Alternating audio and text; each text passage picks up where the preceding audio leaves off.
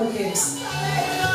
Cuando, cuando nos deja y luego ahí nomás a los días lo vas a pasar con otra. ¿Duele o no duele?